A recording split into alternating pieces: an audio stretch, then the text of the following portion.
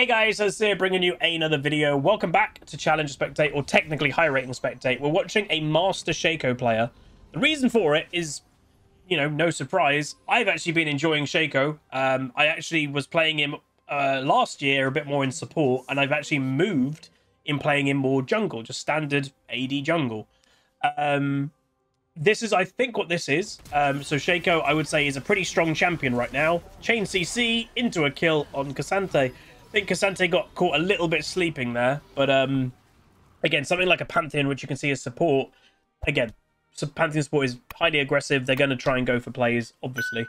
Um, so Anivia gets the first kill, and yeah, that level one is worth saying. It doesn't kind of seem in first impression scary, but it is.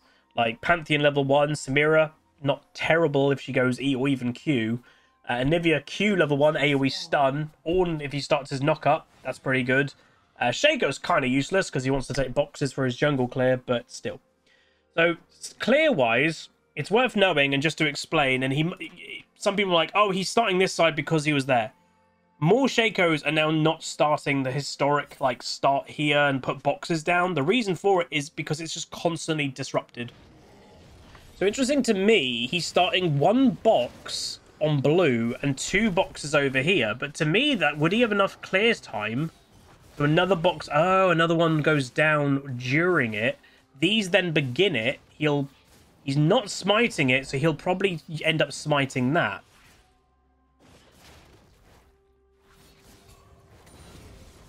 Okay. That I can get that. That I imagine nine times out of ten when you learn to do it, it's fine. There'll be one time out of ten that you muck that up and one of them will reset.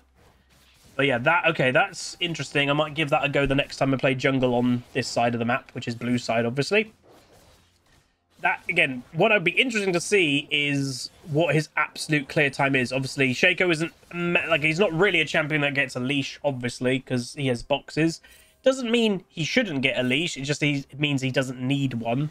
So if you can give your laners the advantage of not leashing, it's actually typically a good thing. Um, so again, does the box AoE just... I will say weirdly, and I don't know, maybe it's just me. He seems to be doing this really fast. Like his absolute damage on everything seems high. But I've whenever I play Shaco, I'm typically starting always red side. So maybe blue side start is quicker. Anivia gets a solo bolo on the Katarina. Again, typically Anivia is good against Katarina. It's just Katarina is very annoying, and usually what happens is historically, obviously, why you know it's an ex Anivia main. Um, which, I, by the way, I want to get back into playing Anivia soon. Uh, maybe back from the holiday uh, when we're really focused on climbing. Um, but yeah, the, the thing that happens always historically with me and Katarina is they just never lane against me. I beat them in lane, but what do they do? They just mega roam, get fed bot lane, and then eventually kill you because they're just overfed. That's what annoys me. Um, so yeah, straight away, ready for the crab, smites it immediately, lets the box finish it off, and then going to head directly to mid. So this, again, is incredibly efficient clear, very fast clear, and Shaco should be bomb free kill.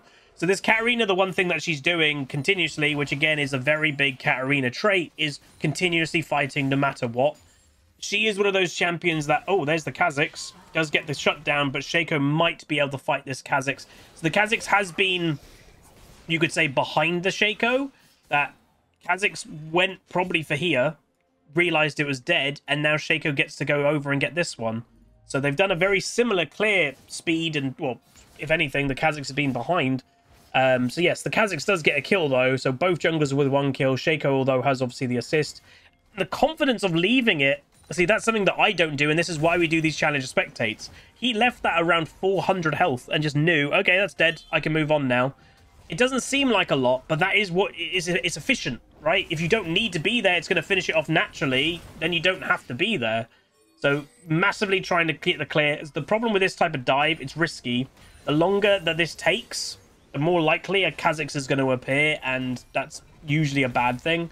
So Ornn, I would say, actually has to be a little bit careful now. He is going for the tower plate. Shaco's not going to try and share the gold of it, I guess. And I think he's not going to get the plate yet. And there's the Kha'Zix. So I would have expected this Kha'Zix, if I was the Ornn, to be here. Because they were looking vaguely for a dive on the, the K'Sante that naturally is going to bring the Kha'Zix over. And the yeah, the Shaco left, but immediately the the, the Kha'Zix is ready to go. So again, another very interesting thing. Oh, here we go. Oh, he doesn't get the backstab. So again, even for one of the best Shaco players on EU West, you don't, again, you can muck up backstabs. It does happen. But what's interesting to me, so arguably, Boots of Swifties are too strong right now. I don't know if they're getting nerfed soon. Uh, they do seem on the strong side. Uh, a lot of people are buying them, but he has rushed Swifties. That is, it's interesting to me because on one hand, I get it, and the other hand, I don't. So Shaco historically is a I want to snowball early game champion. And to do that, a lot of the time you just want big damage, right? You want to get as many like early longsword items as you can. In the same regard, if you if you feel like you're going to do well regardless, and this has been a pretty good start to this game, movement speed is one of the most powerful things in the game because you get to be all over the map, you get to make plays around the map, and if you're really fast, they can't deal with your tempo. So that is actually quite a, an interesting thing to consider. What I would say, and again, we're just watching this one replay, is if I if I was now in a game of Shaco and I'm basing and I've started with a kill or an assist, kind of like this Shaco, and you're like, okay, my early game is pretty good, then I think Boots of Swifties does sometimes make sense. Um, because you've had that early good game. If you do your first base and you haven't yet got a kill, I don't think I would go Swifties early. I think I would be like, right, I haven't got a kill yet. I'm on my first base. Right, I'm going to buy some damage to try and get my first kill. To me, that kind of makes sense. So K'Sante actually gets a solo kill on the Ornn. Oh god, this is risky. So Katarina obviously naturally doing quite bad in mid. What is she going to do? Roam. It's the Katarina way of life. Uh, nice fear does stop the enemy progressing. No, it doesn't because it's Katarina. Champion is just silly. And there we go. So Katarina, who has been demolished this game, arguably just straight up beaten badly, her first roam, she gets three kills. And that is why people hate Katarina. and people always will hate Katarina. That's annoying for them. Um, right, so buffs are spawning soon. Um, ooh, Kha'Zix does take Shaco's stuff. Don't think Kha'Zix, well, and this, well, I was going to say, this is the, the, the bad thing of you're a level ahead of Shaco. The Kha'Zix having his Dirk early, you know, Shaco has got a bit of damage now, but Dirk is really strong in the early game, man. Like, it's really good. Um, hopefully that translates into a kill, which it does with the, the Pantheon. That was a bit of a mistake by the Kha'Zix in the end there. Uh, Anivia is actually feeling the pressure of roaming. So again, that is the other thing that I... It's it's a thing that over, uh, hopefully me explaining gets you guys to understand. Anivia is one of the worst roaming champions in League of Legends. She's one of the slowest base movement speed champs. She's awful at roaming. When you're against something that only roams or wants to roam like a Katarina, it puts so negative pressure on you as Anivia because she's avoiding lane phase, or you beat them in lane phase, and then if a Katarina's like, right, I'm to roam and I'm to get a triple kill on my first roam, it makes you as an Anivia go, well, I guess I have to roam now. And it's a negative feeling because Anivia does not want to roam, but you have to. Because if you then don't roam, Katarina is going to end up legendary in five minutes. It sucks. It's why, again, it's why I think, as especially an ex-Anivia main who played against Katarinas a lot, there's a reason I dislike Katarina a lot. And it's part of that is it just it just forces you to roam when you really don't want to. Uh, and obviously roaming is a big part of the modern League of Legends game, um, whether you like it or not. But yeah. So uh, is going to go... Oh, is he not? So one thing I should probably put on here, by the way, objective timers, so we actually can get the timers over here.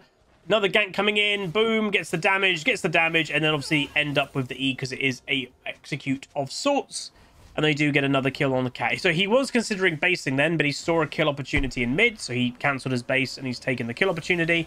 You see the Katarina is spamming the Shaco, very unhappy with him. What build are you doing?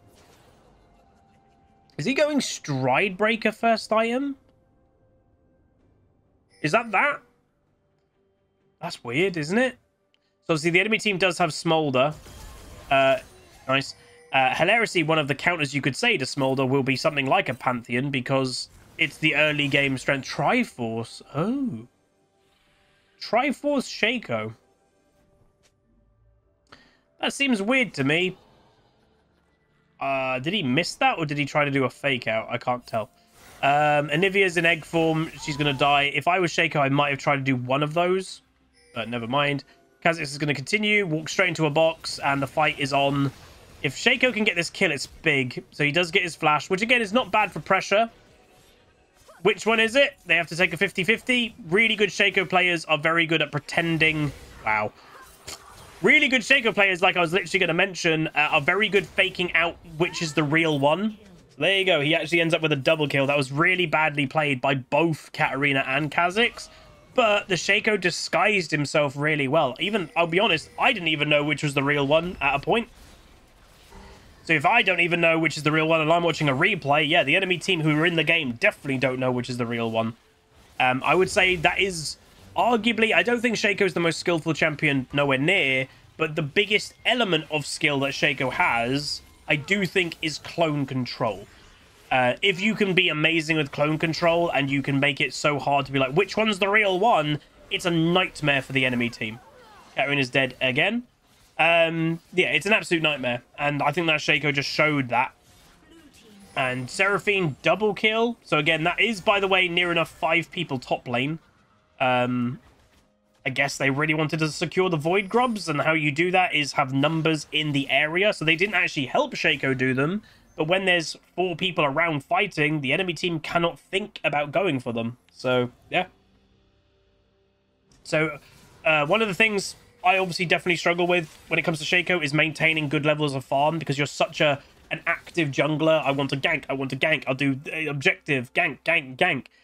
Maintaining farm is very important. You get uh, most of the time the majority of your gold in league, even as a jungler, through farm. So make sure you are. Goblin. Oh, unfortunately, it's been bugged on replays for a while. I normally you press X and it flips to the gold screen. It just doesn't work anymore. Yeah, Triforce first item. I've never considered that.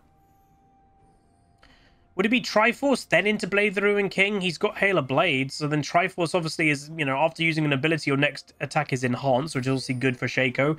Your ability, by the way, the Q will count. So you press Q, and then when you go for a backstab, your initial proc from Triforce is being proc from Q. If you combine that with being behind the target of a backstab, that's a lot of damage.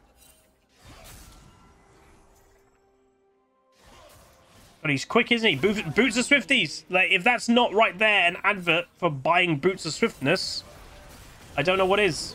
Oh, wow. Oh, wow. Why does the Zilean have Grasp of the Undying? That's weird. Uh, Shiv would also proc it as well.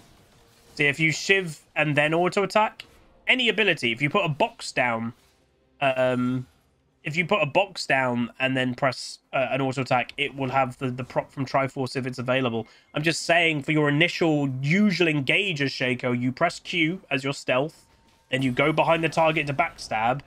That will work. Ooh. That was a bit of a mistake by Shaco to be that low health. I think even if Kha'Zix wasn't around, Shaco was dead to Katarina though. Little bit of a mistake, but it does happen. Yeah, he might go Tiamat. Ooh, Warhammer. Okay. This is a build, I will say, that I am unfamiliar with for Shaco. Again, Triforce is a good item at the moment, so I, I can see it. Obviously, to me, okay, he changes his mind. Uh, to me, early game snowballing Shaco, it's weird for just not to go early lethality, because obviously the, the standard build is Profane Hydra into Blade the Ruined King for scaling. Uh, but the Profane early um, early lethality is just very good for the early game. So as you can see here, literally every single about to be camp is up on Shaco's jungle. And this is where I've always said, you know, I've recently taken up jungle more this season. Um, we've been doing okay. Obviously, we were Diamond 1 a month or whatever ago, was going really good. And then we've had this kind of big dip. Hopefully, and you know, it's not even hopefully, we will get back up in Diamond 1 at least. Um, I remember when I was first playing jungle, you know, recently again, at the beginning of it, there was a lot of comments which were quite critical of, oh, dude, you're, you're clear, you're leaving camps up all the time. But then when you watch challenger players or some of the best players within their own ranks, yeah, it's common because you can't always do it. Like, it's that simple. You can't always, like, fully clear everything. That's loud. Like, you just can't. It, it's not effect. Like, you could even say it's not effective to play like that because there are other things that you can get on with. It's you can't have a perfect clear 99% of the time. And that's okay. So a bit of a mistake coming in. So grouping obviously is powerful. uh, for Smolder, etc. So they managed to get a nice place. So they do need to be careful, I'd say, this game still. Again, Kha'Zix's strength, even though you'd think, oh, the Katarina's done bad, she's got six kills. It's a Katarina. She still can kill things. Like, that's the whole thing with Katarina that I've... Another thing that I've always disliked is you destroy them, you've made them die a lot. If she gets a good R in the middle of a team fight, she can just recover her game in one fight. You know, it sucks, but it's the way of a champion. So again, this is definitely something I'm picking up from this game. I'm definitely picking up to have the confidence to just leave it. You know, don't feel the need to be there. Make sure, obviously, the box will survive. But look, that's 600 health. That was 667 health, just leaves. And it was easy. The box is staying up alive forever. I think that is definitely something that I can do a bit more of. I might do it a little bit, but definitely nowhere near as much as what this Shaco's doing. And that just saves you time. Like, look how quick. So, again, his whole his whole jungle was available. He's just going to clear it in one go pretty quickly. Again, Pantheon support, I would say, yes, he is strong in the early game, but he's not going to be as strong as an actual jungler uh, who's also building lethality. So he needs to be a little bit careful. He might need to, like, rein in his aggressiveness a bit of being kind of by himself at random moments. So Shaco is on the hunt. Unfortunately for Shaco, the K'Sante might have seen him. There's a chance he might have seen him. He definitely has now. Um, so build-wise for Shaco, this will definitely determine what he's buying. Eclipse. Well, that determines it. Jeez, okay. So Eclipse is a very just strong item in the game right now. So, damn. So hitting a champion with two separate attacks or abilities within two seconds deals 8% health uh, health bonus physical damage and grants you a shield. Damn. Again, Hail of Blades is obviously very good with that because Hail of Blades, after using an ability or whatever, you get to uh, auto-attack very quickly for three times, I think. Um, Cloth armor next? Like, like what? What would that be for? GA?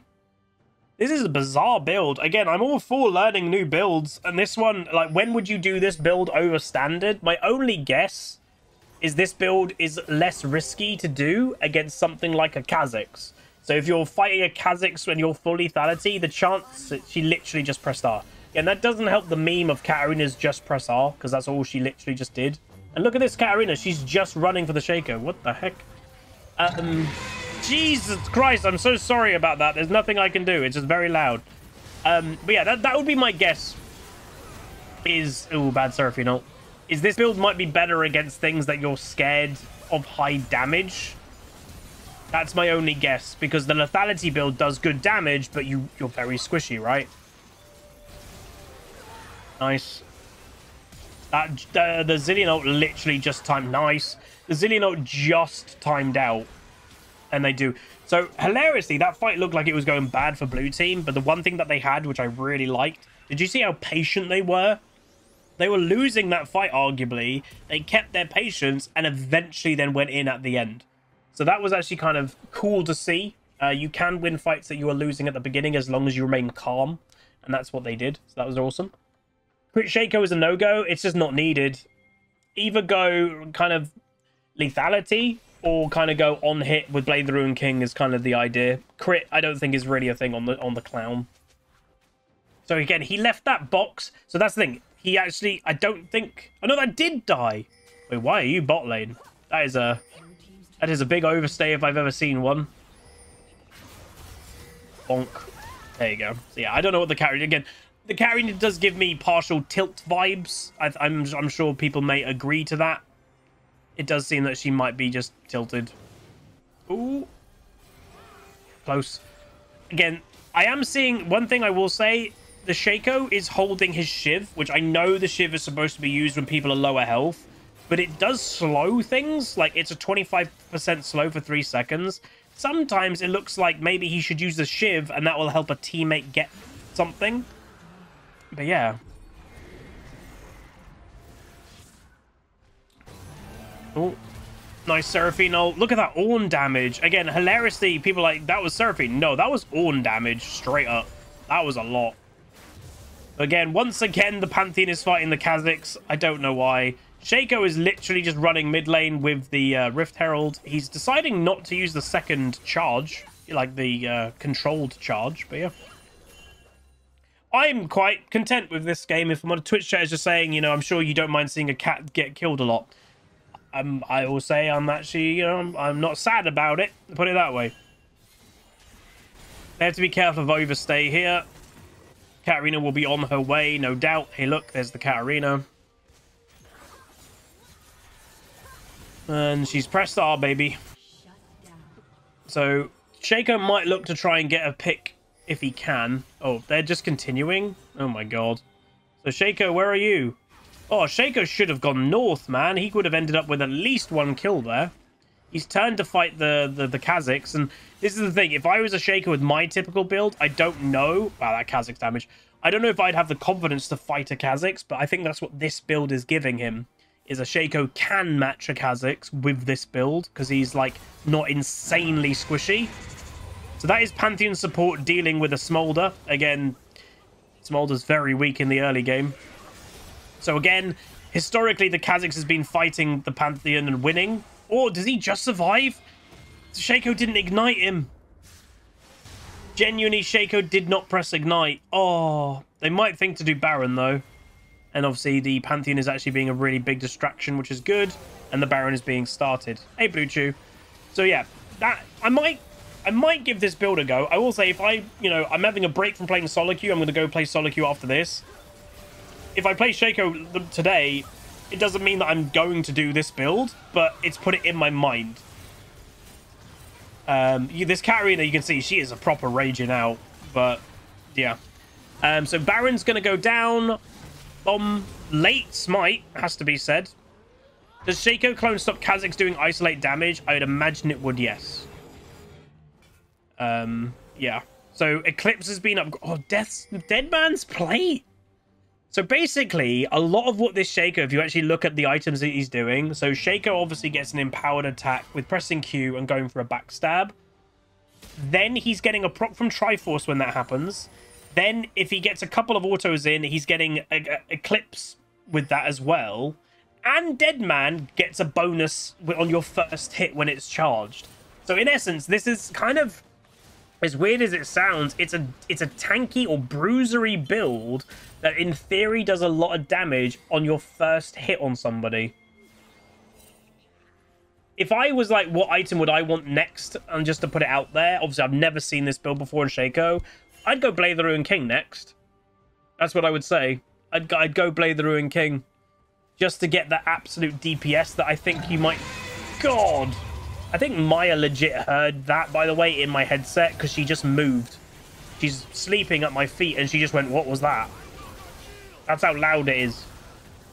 God. So yeah, Shaco's damage pretty decent. Walk in mid lane altogether. And again, Seraphine, I know some people are in the annoyed, like, people are annoyed about that champion again, by the way. Um, she is arguably a little bit too oppressive in these kind of moments. The big team fights, the ultimate that's amazing, the big shielding. It's a little bit annoying to deal with. Um, because, you know, if you look at her build, she's got two support items. She's in the AD carry position, or the carry position in bot lane, and she's building as a support. It's a bit annoying, but yeah. But there we go. That was actually a really interesting game to watch. So Triforce into Eclipse into, well, Swifties first if your early game has gone well, and Deadman for survivability. Yeah, I like the idea of the build. I can get why you would do it. But that is going to be it. If you guys did enjoy, do throw a like on it, throw a comment, throw a subscribe, and I'll see you guys next time. Goodbye.